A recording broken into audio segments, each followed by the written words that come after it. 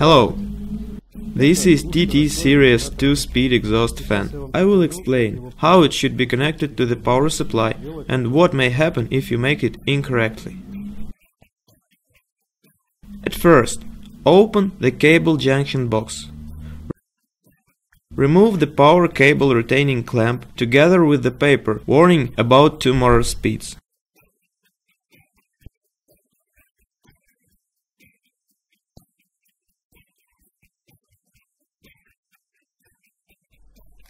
The fan should be connected to one phase 220 volt power supply network with two cables, neutral and phase. The neutral cable should be connected to, to the terminal marked N. The phase cable should be connected to L1 or L2 terminal, depending on motor speed you want to get. Please be careful not to mix up terminals.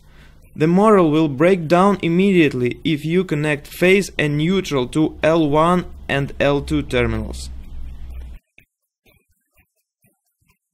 Bring the cable to the junction box. Connect the neutral to terminal N and phase to terminal L1 or L2 depending on motor speed which is needed.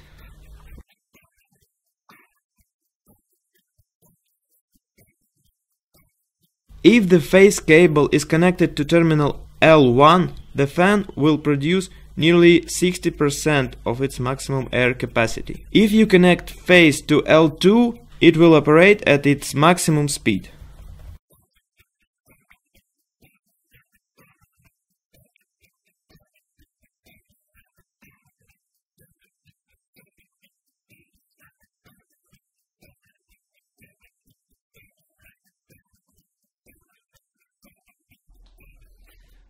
Now, as we have connected the fan, let's look how it works.